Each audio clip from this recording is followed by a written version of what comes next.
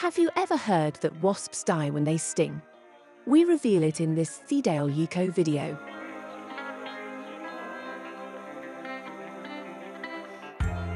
Do wasps die when they sting or not? Their body is divided into three distinct parts, the head, thorax, and abdomen, covered by a chitinous exoskeleton.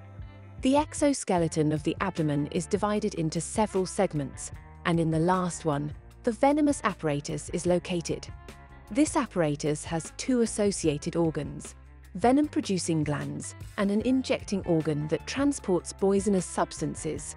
In wasps, this injecting organ is the stinger, which arises from the modification of the ovipositor, a structure used by females to lay eggs, which has lost its function and has transformed into a venom-injecting device. Unlike wasps, bees have autonomy of the venomous apparatus, meaning the bee dies after stinging its victim because it loses its stinger, leaving part of its digestive tract behind.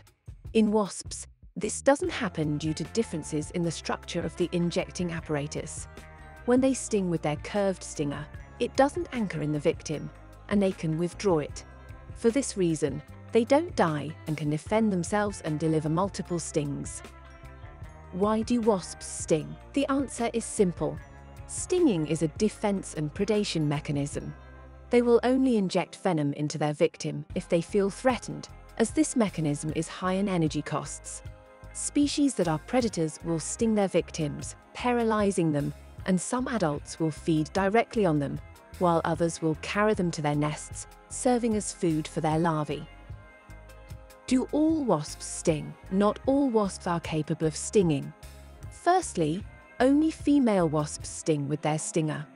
In some species, like the yellow jacket, both sexes can cause injuries using their jaws.